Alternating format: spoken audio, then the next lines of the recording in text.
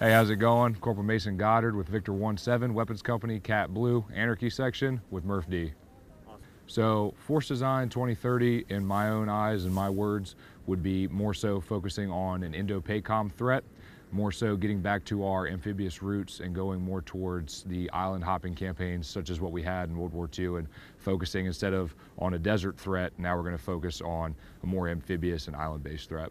We're kind of getting away from what we do traditionally in CAT, which is Combined Anti-Armor Team, which is more so designed for the desert. We've been implementing ourselves, you know, in uh, support by fires using non-standard pairing with the 50 cals and the 240s. For this exercise, we were able to actually set up a defense with 240s, almost like the line companies do, but still implement our CAT tactics and what we bring to the to the table as CAT. We haven't been, you know, doing what we're used to. We're doing different types of training, getting out of our comfort zone, and then pushing our limits, not only for just the junior Marines, but as well as the leaders, thinking about how am I going to place these guys this way with, you know, the new force design as opposed to how we would with our standard uh, tactics. So this exercise is going to be with uh, Baker Company and Cat Blue as, as the opposition force and then Cat Red and some other attachments for Baker. Pretty much they were given an objective, sort of like what we did a lot as Marines in, uh, in World War II with seizing airfields. That was a very big thing.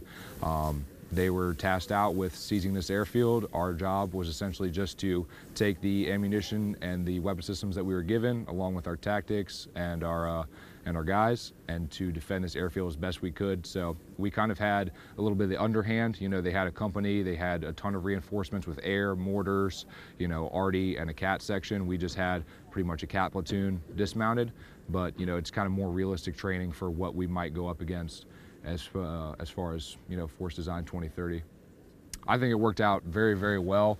We were able to actually um, disrupt the enemy pretty well in, uh, as far as sitting in the defense. We were able to kind of delay them a little bit as best we could. Uh, we had a patrol kicked out, you know, we were in the defense, we had security going on. We were able to, you know, kind of distract them with the one patrol that we had, giving them that realistic training that, okay, hey, there's a threat over here, but we still have to focus on our mission. So when Baker Company was trying to seize us, they were already getting ambushed and attacked, and then we had a, another surprise attack waiting for them that we had set up in the defense.